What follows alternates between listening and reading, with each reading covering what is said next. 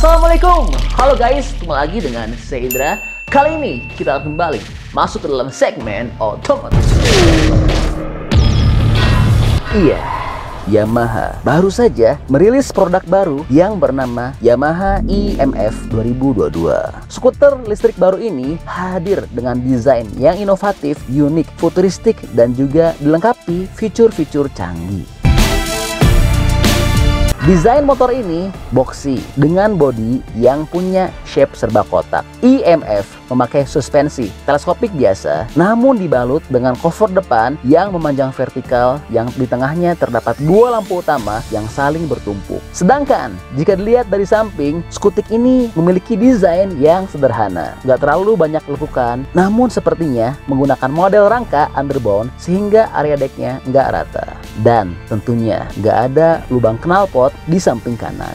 Ya, karena skutik listrik yang membuatnya terlihat polos dan minimalis. Yamaha juga memberikan inovasi desain bodi belakang berongga ala-ala motor Yamaha R Series. Baik lampu depan, lampu rem, DRL, hingga lampu seinnya semua sudah LED. Dan yang menarik, terdapat double real suspension ban gambot dengan ukuran velg 10 inci dan sudah dilengkapi swing arm aluminium dan juga rem cakram depan belakang dengan kaliper radial 4 piston.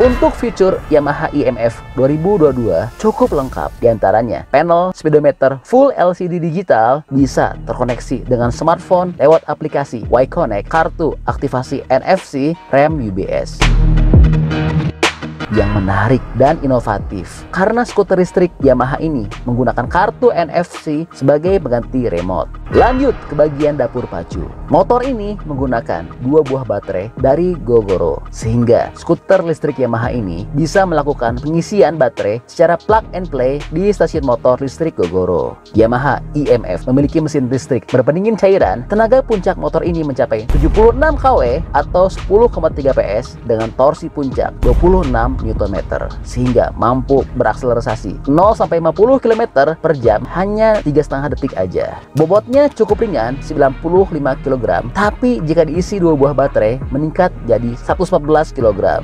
Dan jika dilepas salah satu baterainya, area tersebut bisa dijadikan bagasi. Tinggi jok mencapai 785 mm dan ukuran ban 100 per 90 di bagian depan dan 130 per 90 di bagian belakang yang keduanya menggunakan ring velg 10 inci.